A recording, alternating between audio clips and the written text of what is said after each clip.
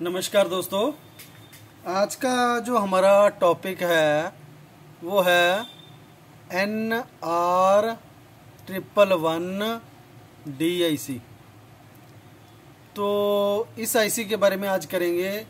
ये यूट्यूब के अंदर बहुत ही कम देखने को मिलती है ये आईसी बेसिकली इस आईसी का पर्पज़ है, यानी ये किस तरह काम करती है, यानी लो एफिशिएंसी को हाई में कन्वर्ट कर देती है। जैसे मान के चलिए आपके पास वोल्टेज जो है, कम वोल्टेज है। मान के चलिए 10 वोल्ट या 12 वोल्ट है, उसको ये डायरेक्टली आईसी चौबीस से तीस वोल्ट के अंदर कन्वर्ट कर देती है। यानी वोल्ट को लो फ्रिक्वेंसी को हाई फ्रिक्वेंसी के अंदर कन्वर्ट कर देती है। इस आईसी का बेसिकली प्रयोग वहाँ पे किया जाता है, जहाँ पे लो आपके पास वोल्टेज है या लो सिस्टम आपके पास है, जैसे लो वोल्ट है। तो उस लो वोल्ट को हाई वोल्ट के अंदर कन्वर्ट करके प्लस चार अम्पेयर का आपको करंट ये प्रोवाइड करवाती है आईसी ट्रिपल वन डी तो मेरे पास एक, हमारे एक सब्सक्राइबर है जिन्होंने एक कमेंट किया था। तो उनका नाम तो वैसे मेंशन यहाँ पे नहीं किया गया है। तो उन्होंने यहाँ पे नाम अपना मेंशन नहीं किया है। तो उन्होंने सिर्फ़ आईसी के बारे में लिखा है कि आईसी नंबर है सर कि जो Y Y H triple one ये आईसी उन्होंने लिखी है। तो इस आईसी के बारे में वो जानना चाहते हैं कि ये आईसी उनको अवेलेबल नहीं हो रही, नहीं मिल रही है। तो उस आईसी की जगह कौन सी आईसी लगा सकते हैं और इस आईसी की वर्किंग किस तरह, कैसे काम करती है, आज इस आईसी के बारे में करेंगे। तो चैप्टर शुरू करने से पहले सबको सभी को नमस्कार। और जिन्होंने अभी तक चैनल हमारा सब्सक्राइब नहीं किया है, वो चैनल को सब्सक्राइब कर लें। और आपको अगर वीडियो अच्छी लगी तो लाइक और शेयर ज़रूर करें, अपने दोस्तों के अंदर शेयर करें। तो शुरू करते हैं आज का chapter N R triple one D, या Y H triple one I C तो ये टोटल आठ पिन के अंदर से आईसी हमारी जो आती है, टोटल आठ पिन के अंदर होती है ये आईसी, और डिप टाइप के अंदर आती है। यानी ये कौन सी है? आठ पिन की आईसी है ये। आठ पिन के अंदर आती है और डिप टाइप के अंदर आती है।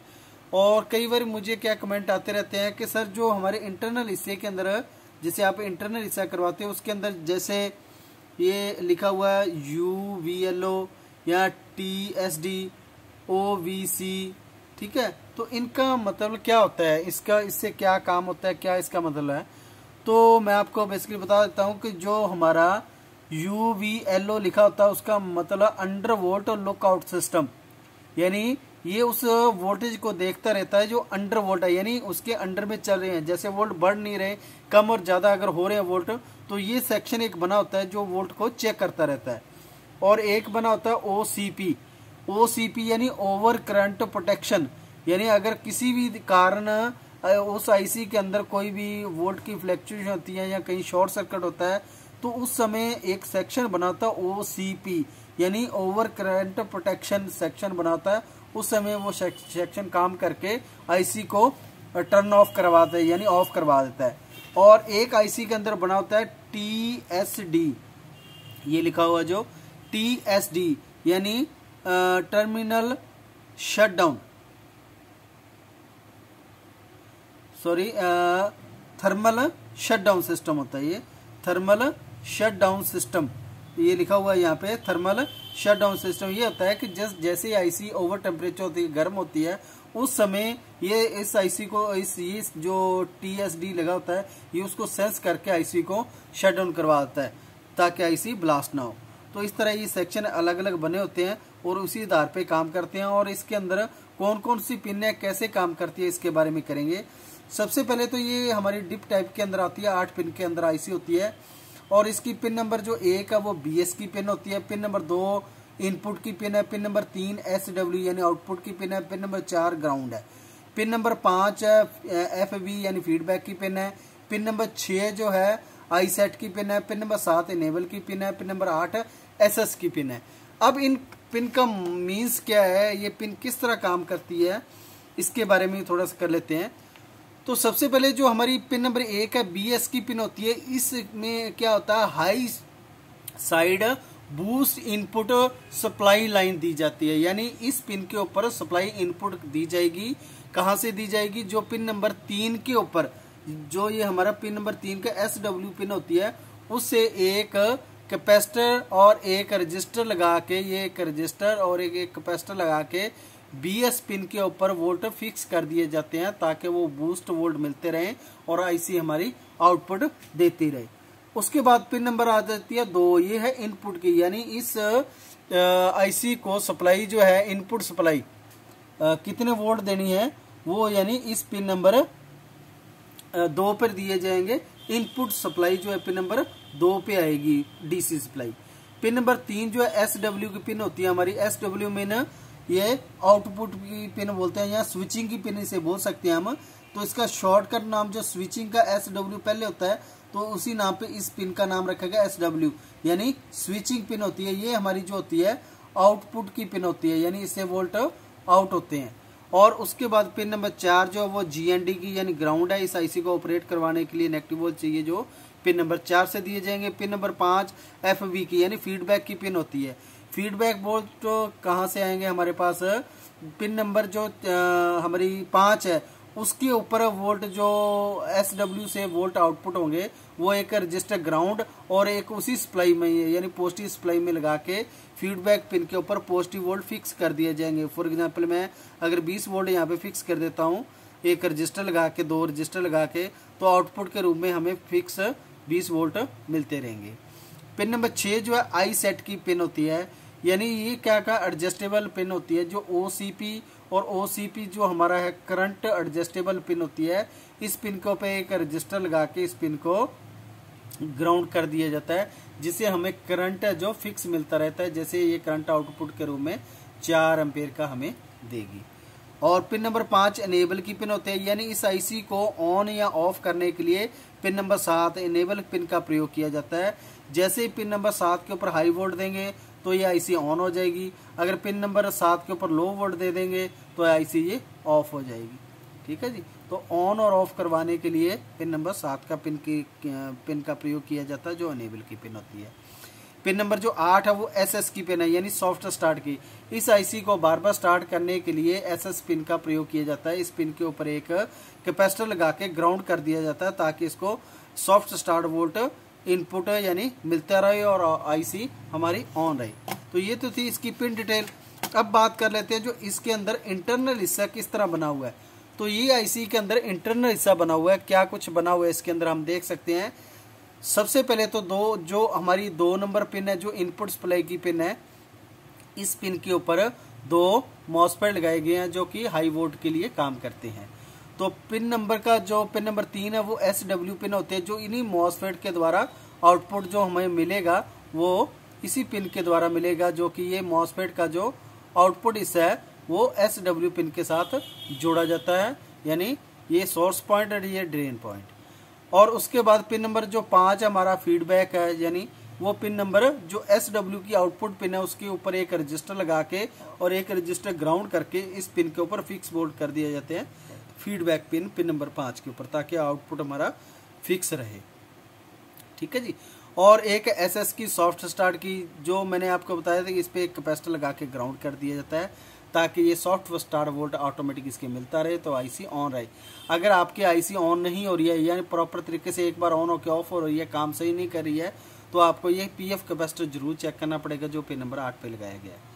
और जो इसकी पिन नंबर चार है, वो जीएनडी यानी ग्राउंड है। और पिन नंबर जो आई सेट है आई सेट की पिन जो है पिन नंबर छः है, इसके ऊपर आई सेट यानी इसको भी एक रजिस्टर लगा के ग्राउंड कर दिया जाता है, ताकि ये आईसी को ऑन रखे और हमारा आउटपुट है, यानी एस डब्ल्यू पिन से हमारा आउटपुट स्टार्ट रहे। और पिन नंबर जो इनेबल की पिन है, उसके ऊपर ऑन और ऑफ़ सेक्शन इंटरनल तौर पे बनाया गया है। वो आईसी को ऑन और ऑफ़ करने के लिए S W pin enable pin का प्रयोग किया जाता है, जिसके अंदर पी रेगुलेटर वोल्ट और वेरिएफ वेरिएबल वी रेफरेंस वोल्ट इसके ऊपर फिक्स रहते हैं, ताकि हमारा सेक्शन आउटपुट चलता रहे। वो हाई और लो पे डिपेंड करता है। तो ये तो थी इसकी जो हमारी आईसी की जो इंटरनल है और पिन नंबर एक जो बी एस की पिन है, इसके ऊपर मैंने बताया आपको एक रजिस्टर लगा के और एक डायड लगा के जो हमारा इनपुट सेक्शन है, उसे वोट दे दिए जाते हैं जिससे जिससे ये ड्राइवर रेगुलेट करता रहता है और हमारा सेक्शन जो मॉसफेट इंटरनल तौर पर लगे हैं, ये ऑन होके हमें आउटपुट रेगुलर देते रहते हैं। तो ये तो था इंटरनल हिस्सा। अब इसकी सर्किट की बात कर लेते हैं कि सर्किट के अंदर इसको किस तरह प्रयोग किया जाता है। तो ये जो बेसिकली सर्किट है, इसका I N triple one D I C का। तो इसके अंदर जो पिन नंबर एक है और पिन नंबर दो है पिन नंबर दो जो हमारी इनपुट की पिन है, उसके ऊपर जो वोल्ट किसी भी डीसी वोल्ट दिए जाते हैं, जो कि 12 वोल्ट हो, या 15 वोल्ट हो, या 8 वोल्ट हो, या 5 वोल्ट हो। तो ये ऐसी उस वोल्ट को बढ़ा के, यानी फ्रिक्वेंसी को अप करके यहाँ पे आपको 20 वोल्ट या 25 वोल्ट या 30 वोल्ट का करंट आउट 30 वोल्ट देगी और 4 एम्पेयर के अंदर। और बात आ जाती है इसको इनेबल यानी इस आईसी को ऑन करने के लिए इस पर हाई वोल्ट की सप्लाई दी जाती है, जो कि आर वन रजिस्टर के द्वारा पिन नंबर सात पे दिए जाते हैं पॉजिटिव वोल्ट तो आप यहाँ पे पॉजिटिव वोल्ट ज़रूर चेक करना। अगर ये आईसी यहाँ पे एस डब्ल्यू पिन नंबर तीन से वोल्ट आउट नहीं कर रही है तो पिन नंबर सात के ऊपर आपने पॉजिटिव वोल्ट चेक करने हैं। अगर पॉजिटिव वोल्ट यहाँ नहीं मिल रहे तो आईसी ऑन नहीं होगी। पॉजिटिव वोट देने के बाद यहाँ पे आपका आउटपुट आना चाहिए। अगर नहीं आ रहा तो एस एस पिन पे लगाओ पी एफ़ को आप शॉर्ट के लिए चेक कीजिए। ठीक है जी? तो ऐसे आप इसको चेक कर सकते हैं। पिन नंबर चार जो एस एस की पिन होती है, इसके ऊपर पी एफ़ लगा के ग्राउंड कर दिया जाता है। पिन नंबर चार ग्राउंड ही है इसको डायरेक्ट ग्राउंड है। और आई सेट की पिन के ऊपर एक रजिस्टर लगा के इसको भी ग्राउंड कर दिया जाता है।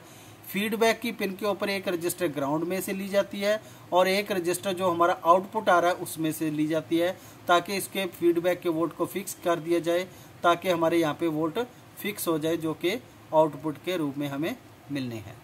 तो इस तरह ये इंटरनल हिस्सा सॉरी आउटडोर हिस्सा जैसे हम आईसी कहीं पे भी इंस्टॉल करते हैं तो इसका ये अलग से हिस्सा बनाया गया है। अब यहाँ पे मैं मेंशन कर देता हूँ जो इसके इक्वल नंबर है। तो अगर ये आईसी आपको प्राप्त नहीं हो रही है आपको नहीं मिल रही तो इस आईसी की जगह आप कौन कौन सी आईसी लगा सकते हैं, वो मैं यहाँ पे थोड़ा सा मेंशन कर देता हूँ। तो सबसे पहले एन आर एक सौ दस ई आई सी ये आप आई सी लगा सकते हो। और एक है N R triple one E I C एक ये प्रयोग कर सकते हो। और एक है हमारी एन आर एक सौ उन्नीस सॉरी इसको थोड़ा सा मैं अच्छे से लिख दें। एक सौ उन्नीस आई ई मॉडल ये लगा सकते हो। अगर इनमें से अगर एक और आईसी होती है एन आर एक सौ सत्रह के आई इसका भी प्रयोग कर सकते हो। अगर इनमें से कोई भी आईसी अवेलेबल नहीं आपके पास है, अगर आपको नहीं मिल रही कोई भी आईसी इनमें से एक तो आप क्या कर सकते हो? एक आईसी मोस्टली जो हमारी टावर के अंदर आती है, जब एक्सएल सत्तर, पंद्रह, उसी तरह की एक मॉडल आता है, जिसको बोलते हैं एस वन यानी एस एल अस्सी पचास। ये आप प्रयोग कर सकते हैं। इसकी पिन डिटेल मैं आगे वीडियो में बना दूँ। एस एस आई अस्सी पचास आई सी तो ये आईसी लगा के भी आप इसी सेक्शन को ऑपरेट करवा के आउटपुट ले सकते हैं। तो ये इसके इक्वल नंबर हैं जो आपको काम में आएँगे।